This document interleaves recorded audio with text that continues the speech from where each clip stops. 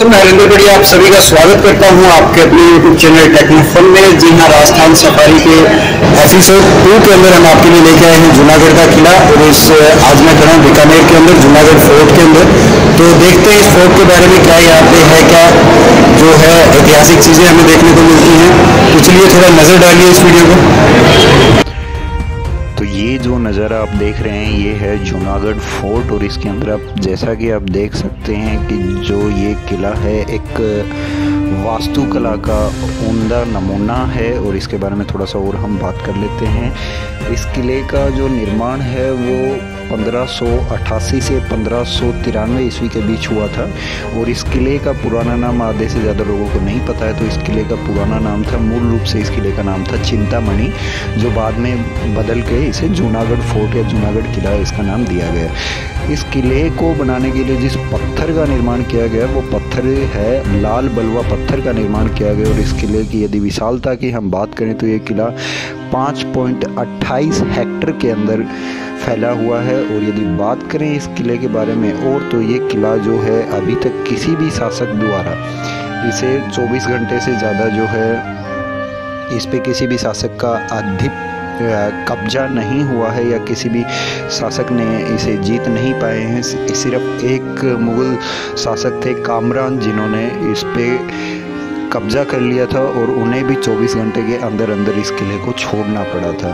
इस किले के यदि निर्माण की बात करें तो इस किले का निर्माण जो है राजा राय सिंह के प्रधानमंत्री करणचंद द्वारा किया गया है और इस किले के बारे में आप देख सकते हैं इसकी जो अभी तक पंद्रह के अंदर बना यानी तकरीबन साढ़े चार सौ साल इस किले को हो चुकी हैं, लेकिन फिर भी इस किले की जो है आप देख सकते हैं किस तरीके से इस किले को संरक्षित करके रखा गया है और ये एक राजस्थान सफारी के हेरिटेज का बहुत ही अच्छा एक पार्ट है और यदि आप शौकीन हैं ऑफ़ रोडिंग करने के डेजर्ट ऑफ़ रोडिंग करने के या डेजर्ट कैंपिंग करने के तो बीकानेर आपके लिए एक बहुत ही अच्छी जगह हो सकती है। आप देख सकते हैं किस तरीके से इसके अंदर जो जाली जो लगाई गई है और जो लाल बलुआ पत्थर का इसके अंदर काम किया गया है, वो वाकई में ही काम सराहनीय है और ये आप देख सकते हैं, ये बोर्ड जो है वो पढ़ सकते हैं।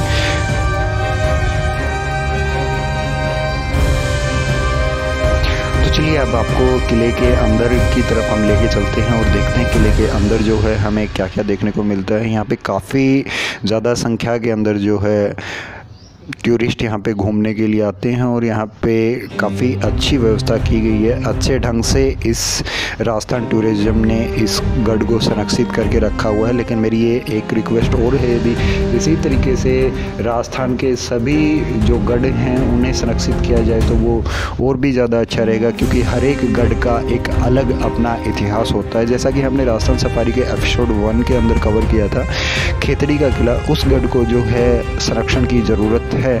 तो ये आप देख सकते हैं कि किस तरीके से इसके अंदर जो है कितना शानदार काम किया गया है। ये एक नज़ारा आप इस पर नज़र डालिएगा।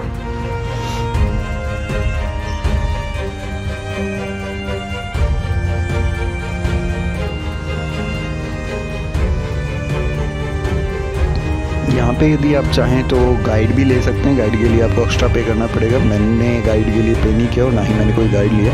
तो ये देखिए आप देख सकते हैं किस तरीके से इस किले को सुरक्षित किया गया है और सारी व्यवस्थाएँ इसके अंदर की गई हैं। इस किले के अंदर काफ़ी सारे महल हैं, जैसे कि ये करण महल है, इसके अंदर हम चलते हैं। और ये आप देखेंगे तो ये यहाँ पे आपको जो है स्वर्ण पत्ती का जो काम है वो किया हुआ दिखाई देगा, जो कि 500 से ज़्यादा साल पुराना है।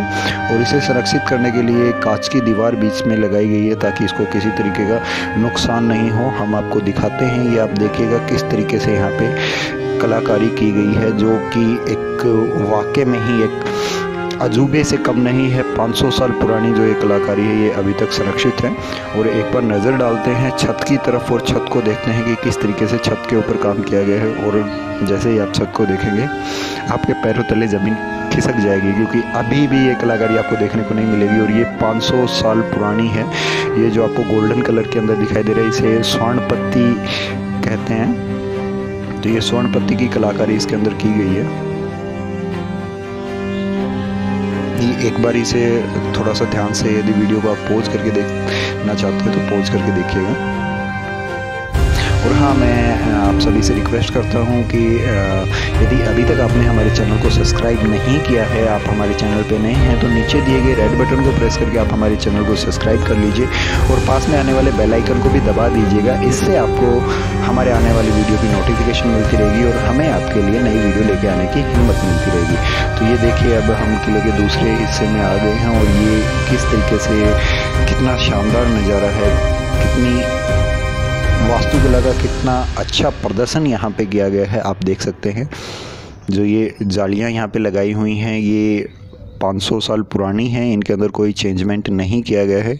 और इस वीडियो के अंदर हम आपको दिखाएँगे एक 500 साल पुराना मिरर, यानी 500 साल पुराना शीशा जो आप देखेंगे इसी वीडियो के अंदर। तो वीडियो के लास्ट तक बने रहिएगा, ये चलिए अब हम जो है रवि महल, जो आपको दिखाई दिया साइड में, वो रवि महल था। कुछ मॉडिफिकेशन इसके अंदर किए गए हैं, लेकिन उस मॉडिफिकेशन करते समय ये ध्यान रखा गया कि इस किले के अंदर कोई भी किसी भी तरीके की जो पुरातत्व चीज़ें हैं, उन्हें नुकसान नहीं पहुँचाया जाए। तो ये आप देख सकते हैं, ये चंद्र महल है हमारे सामने, जो कि अभी बंद है टूरिस्ट के लिए। लेकिन ये इनके दीवारों को आपको एक क्लोज से मैं थोड़ा सा दिखा देता हूँ, किस तरीके से इस पर काम किया गया है। हालाँकि ये जो है, अभी इसे थोड़ा सा मरम्मत की गई है इस एरिया की। जो है वो जो इस किले के साथ था वो नहीं है।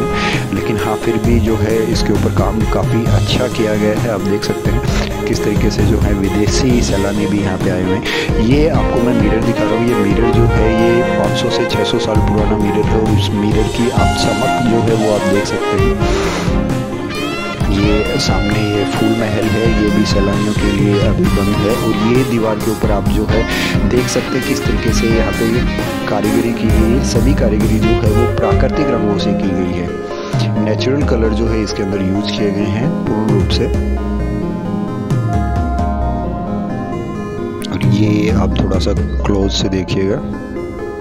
हाँ वीडियो के अंदर यदि आपको कोई कमी लगे तो उसके लिए मैं माफ़ी चाहूँगा और मेरे को कमेंट बॉक्स में लिख के ज़रूर बताइएगा, क्योंकि मैं जो है इतना प्रोफेशनल नहीं हूँ कैमरा हिंदी के मामले में। तो आपसे माफ़ी चाहूँगा उसके लिए, लेकिन हम कोशिश करेंगे दिन प्रतिदिन अपने आप को इम्प्रूव करने की। तो ये आप जो है इसको थोड़ा सा क्लोज से देखिए किस तरीके से, कितनी मतलब कि सफ़ाई के साथ जो है ये काम किया गया है, ये आप देख सकते हैं।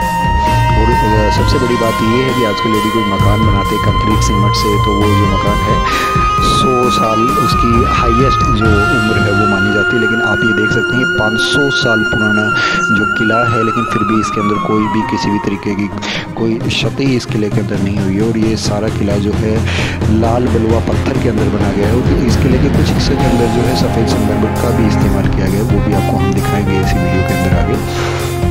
तो ये आप देख सकते हैं इसे किस तरीके से कितने अच्छे सुव्यवस्थित ढंग से सुरक्षित किया गया जो ये आपको पिलर दिखाई दे रहे हैं, ये जो है सफ़ेद संगमरमर के पिलर हैं। ये मिरर आप देखिए, ज़रा सा क्लोज से देखिए किस तरीके से इस मिरर को जो है दीवार में फिट किया गया और ये मिरर अभी भी जो है पाँच सौ साल पुराना लगता नहीं है। ये आपको दिखाते हैं ऊंचाई देग है। इसके अंदर जो खाना वगैरह है, वो बनाया जाता था शाही परिवार के लिए। एक दूसरी देख दिखाई देगी ये जो है पूर्ण रूप से पीतल और तांबे की बनी हुई है।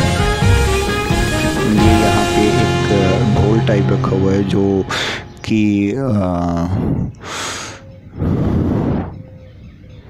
ये देखिए आप यहाँ पे, ये जो गेट है, इस गेट के ऊपर आप देख सकते हैं।